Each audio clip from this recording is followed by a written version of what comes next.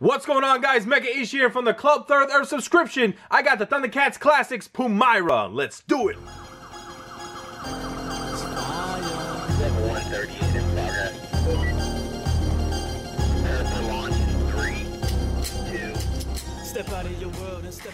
Welcome back guys to another Thundercats Classic action figure review. And as you can see by this black shipper box, you got the Thundercats logo and we have Pumyra inside of this box. Now this shipper box is pretty cool in itself. We do have the full Thundercats logo right here. On one side of this shipper, we have some awesome black and white artwork of the Thundercats lair. And on the other, we have some artwork also in black and white of Pumyra who looks very angry. Now let's take Pumyra out of this box and let's see what her real packaging looks like.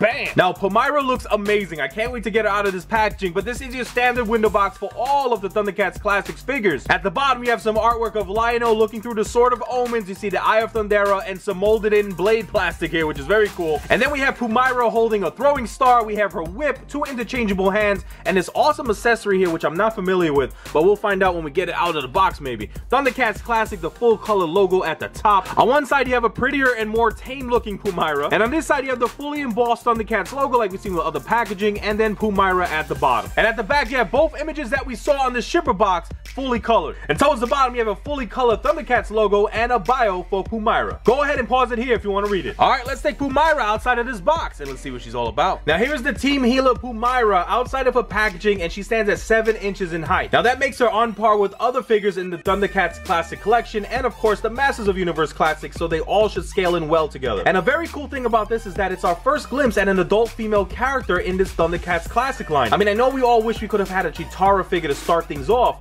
but I'm not mad at this. I'm actually a lot more impressed with this figure than I thought I would be. She does have that throwing weapon accessory in her right hand, she has the whip cord, and then she has that magical artifact. Now, I actually had to Google this. It is called the Totem of Dera, and it helps with healing, which makes sense because she is the team healer. And of course, she has two interchangeable hands. Now, let's take a closer look at Pumyra. Now, as is the case with other characters from the classic Thundercats cartoon, with the exclusion of Panthro, you can see the 80 Inspired hairdo of Pumyra. Now, they've done a great job of recreating this look here in action figure form. I mean, take a look at the sculpted detail with all that line work. You got the nice flow, you got the poofy top, you have the cattail-like sideburns just like a whipcord, but just a nice job with the paint separation of the brown and that white streak, and even the white paint at the ends of her hair. Now, she does have a decent face sculpt. I mean, her side profile is beautiful, and her front a little bit less, but what wins me over is the paint applications of this face. For the most part, it is very clean. You do see some smudging of the brown of her hair on the top of her forehead, so that could have been a little bit cleaner, and you do also have some smudging under her left eyebrow. You do have the red of her eyes, which are nicely centered. I love the white behind them, and you even have the light reflecting off and the black pupils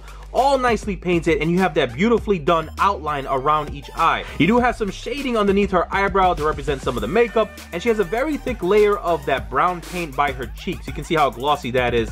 Nice application of the lipstick paint and just so you know pretty decent sculpt all the way throughout. You do have those big cat-like ears towards the side which transition between the flesh tone that you see on the front of her face and almost like a darker brown going up towards the top. Now going down to her neck, she has this awesome neck collar which is very cool and nicely painted in that gold. That looks awesome. On her left shoulder area, she does have this little shoulder guard, which again is nicely sculpted and painted in that red. Her costume design is pretty basic. You can see the nicely sculpted uh, dress piece there, which is all done with that brown paint, which looks nice, but what really stands out is that awesome Thundercats logo that is nicely centered on her chest. And look at the separation between that black of the cat and the red of the rest of the emblem. That looks so cool. You got some more nice sculpt work here of the wrinkles, and then you can see the separation between her flesh tone and the rest of the brown of her costume. Now, around her waist, she carries her whipcord like a belt, and the cool thing about this lighter brown, soft plasticky material is that it comes right off her waist, and as you can see, it's an extra accessory for her. This is so cool, and again, here you have the cattails at the bottom. She has this left golden armband, which is matching the color on her neck, which looks pretty cool,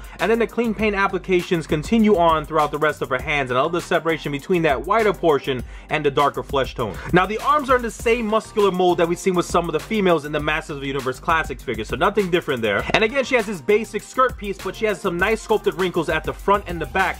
But what's really cool about this is that awesomely sculpted and painted pouch. I really like the soft muscular sculpt of her legs, and we've seen this again with the Motu Classic female figures, but it looks so good here on Pumyra. Again, we have the same flesh tone paint applied at the bottom as we do above. Going down her legs, we have the nicely sculpted boots, which looks so cool. You can see the line work at the tip of her boots. We have those nice gold gems at the top as well. Got some wrinkles sculpted down by her toes, some more of the line work by her heels, And at the bottom, we do have some peg holes if you're having any trouble standing up Pumyra. Now, real quick for accessories, again, I show you the lighter brown whip cord that she we have here, the one that wraps around her waist, which is very cool. And then we have the one that is not actually a whip, it's actually molded in plastic all the way in this position permanently. It is somewhat flexible, but you can see the pellets that she whips out of her whipcord when she uses it in uh, yellow, blue, and red. Now we have this throwing star or boomerang, whatever you want to call it, which is nicely done with the paint. Pretty basic though. You just have gray paint, but you do have that nice deep red at the center, which is nicely applied. Now the star of her accessories would have to be this Totem of Dara. Again, it is a magical artifact.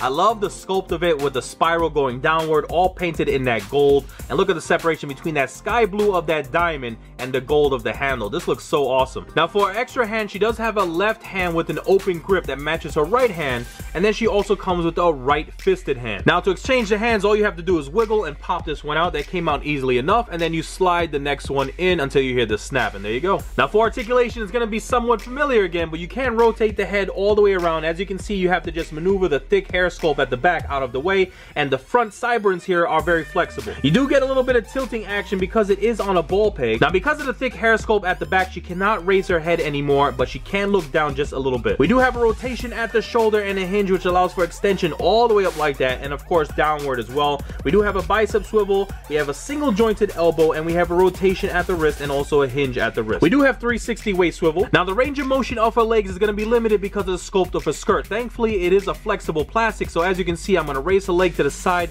and that's about as far as it can go and you can see the plastic is being stretched. She can kick her leg up and the same thing happens here but she does have more range of motion as you're kicking it towards the back. It seems to be a lot softer towards the back. Now there's also rotation at the upper part of her thigh. You just have to get the scope out of the way and as you can see I rotated it all the way around. We do have a single jointed knee and we have a hinge at the ankle which allows for downward flexion a very good amount and upward flexion a decent amount as well. And not to mention we do have an ankle rocker rotation. Now here's a shot of all of the Thundercats team members currently in the Thundercats classic lineup. Now I did want to point out that the Lion-O figure is actually shorter than the Pumyra figure which is kind of throwing me off. So hopefully down the line Super 7 and the Four Horsemen can correct that but even though Pumyra is one of the lesser known Thundercats members, she does look pretty cool with the rest of the group. So there you have it guys, my video review of the Thundercat Classic Pumyra. Such an awesome addition to this ever-growing Thundercats lineup. Thank you guys so much for hanging out with me. I hope you enjoyed this video. Leave a thumbs up and check out my channel for other reviews I have done. I have so many cool things coming your way, so make sure you all like, subscribe, comment, and share.